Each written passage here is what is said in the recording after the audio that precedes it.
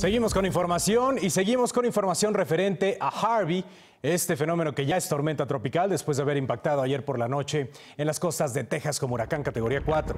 En la ciudad de Palacios, allí en Texas, los vientos superiores a los 200 kilómetros por hora provocaron daños en techos y paredes de decenas de casas y comercios.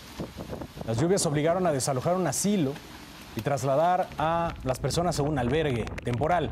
De acuerdo con las autoridades, esto que usted ve, el malecón, impidió un desastre mayor en esta zona, ya que resistió el intenso oleaje al momento justo del impacto de Harvey. En Houston se mantiene la alerta por posibles inundaciones debido a que los ríos podrían desbordar en las próximas horas si las lluvias intensas no cesan. Hay zonas donde el agua alcanza los 40 centímetros de altura, pero se teme que estos encharcamientos se conviertan en inundaciones de más de un metro. Frente a esto, tres cárceles del sur de Houston fueron desalojadas, 4.500 internos fueron trasladados a otros penales. Y en Galveston, desde luego, también se sintió el impacto de Harvey. Las inundaciones en esta zona alcanzaron el medio metro de altura. Antes de la llegada del huracán se pidió la evacuación voluntaria en las áreas costeras del condado para evitar la pérdida de vidas.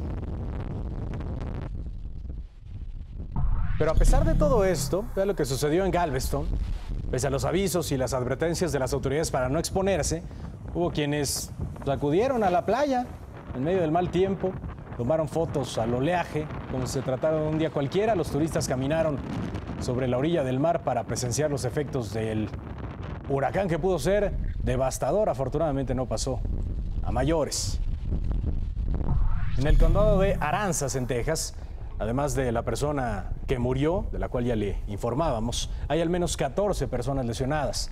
Por las intensas lluvias, varias calles quedaron completamente bajo el agua. Hubo reporte de daños en decenas de casas. También hubo daños en vehículos.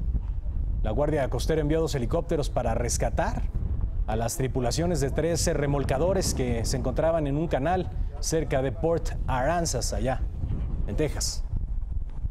En otra ciudad costera, en Rockport, en donde Air Harvey impactó con todo como un huracán de mucha furia, el panorama es verdaderamente devastador. Decenas de casas, negocios, escuelas y edificios públicos sufrieron graves afectaciones. El acuario de la ciudad quedó completamente destruido. El sistema de respuesta de emergencia de la ciudad se vio obstaculizado porque se perdió el servicio de telefonía celular y otras formas de comunicación. Podemos decir ahora que la ciudad más afectada en el estado de Texas es precisamente esta ciudad de Rockport. En la ciudad de Victoria, también en Texas, los fuertes vientos y la lluvia provocaron la caída de ramas, de árboles y de señales de tránsito. Un camino cerca de la costa del Golfo de Texas se vio severamente dañado, esto reitero, en la zona de Victoria.